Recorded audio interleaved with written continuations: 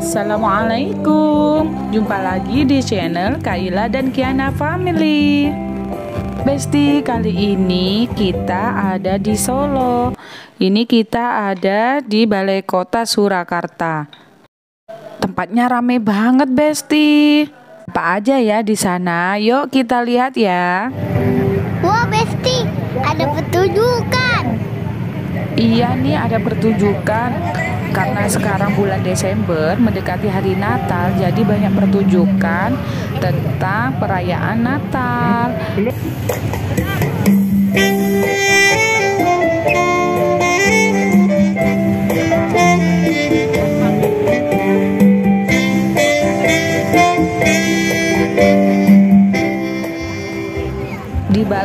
Surakarta banyak sekali masyarakat itu duduk santai untuk menikmati suasana malam.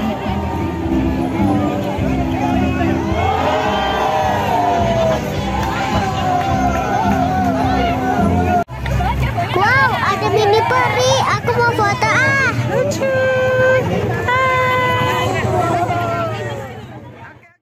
Selanjutnya kita akan kuliner di daerah Solo. Di Solo ada kawasan wisata kuliner namanya Galabo. Di sini tuh menjual banyak macam makanan-makanan khas Solo. Saya mau coba nasi liwet. Hmm, kayaknya enak banget ini, Besti. Oh, ini ya. Iya. Itu putih-putih apa itu? Ini searah santan dikental itu, kalau ini telur kukus. Oh, telur. Dikukus gitu loh. Udah gitu aja. Udah. Dua lima. Pagi harinya kami jalan-jalan ke Kevide. Letaknya itu dekat dengan hotel yang kita tempat.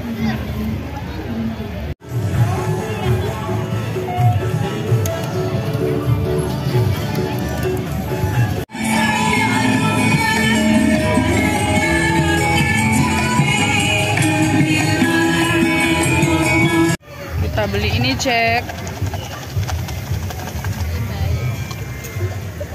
Dan harganya cuma 5 ribuan.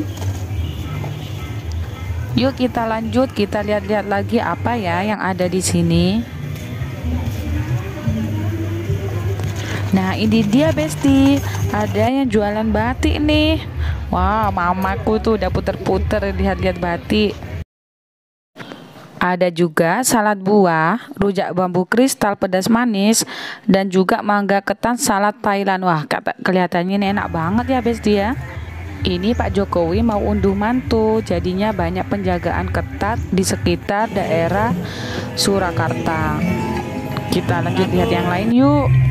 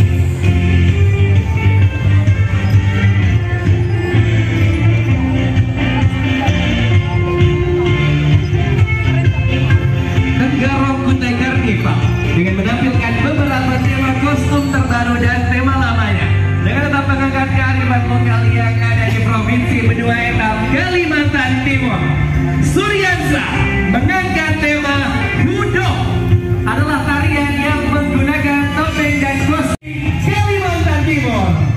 Oke, ini juga penjelasan dari Aldi yang mengenai dari Suryansa dengan tema Kudo ya. Dan selanjutnya, M. Randy Mulyadi Ulat Doyo merupakan seni menenun menenun kain dari suku Dayak kedua bernama upacara adat Erol.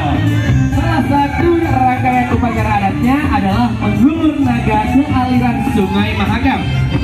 Penonton siapa yang bisa boleh langsung naik ya? Kita kasih dua dulu ya. Kita kasih dua dulu ya. Oke, kemarin dulu yang belum foto dia, Mak. Mak. Maju pak, maju pak. Sini dulu ya nunggu ya, oke? Jangan ke mana-mana lo bu ya. Nanti kita panggil habis maghrib, oke? Ini usah Mas dulu, dari mana? loh, ya. Kalimantan. Ini masih punya kesempatan dapat hadiah juga karena masih ada dua pertanyaan. Setelah capek keliling, akhirnya kita berhenti untuk sarapan.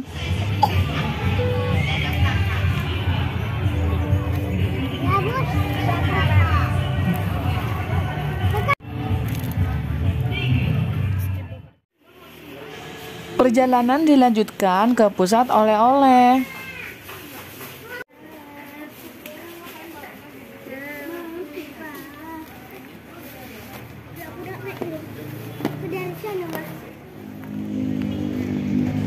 Sebelum pulang, kita mampir dulu ke masjid yang baru dibangun di kota Solo.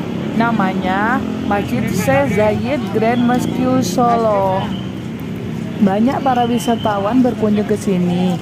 Walaupun tempatnya belum boleh masuk dan tidak dibuka untuk umum, kami cukup foto-foto di luarnya saja. Gaya gini gitu. Gak apa-apa. Tangannya kakak. Ya, satu. Bas Rempolize.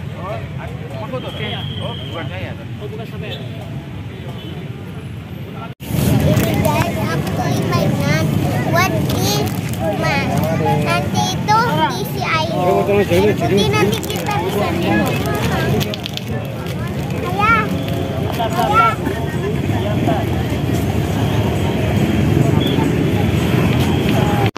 Oke, Besti. Sampai di sini dulu ya. Tunggu perjalanan berikutnya.